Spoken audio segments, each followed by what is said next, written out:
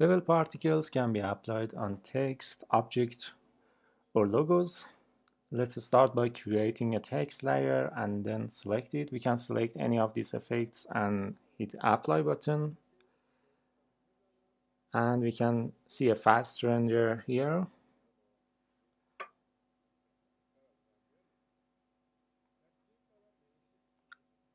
Yeah, here is the result if we hit C button on our keyboard, we can move the text layer or we can zoom in.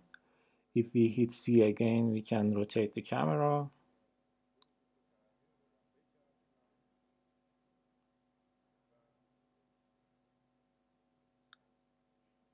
If you select the E3D layer, you can uh, open the scene setup.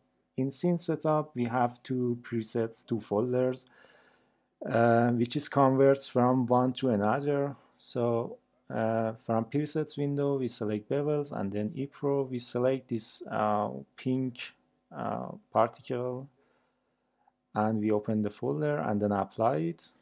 Okay. And for the second particle, let's uh, apply. Okay, this is great.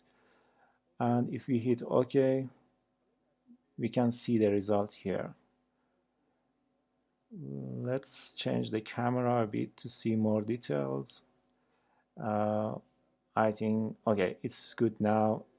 As you see these pink particles are in our scene and converts to the other particle.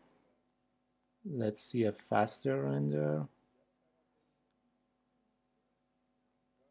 Yeah here is the final result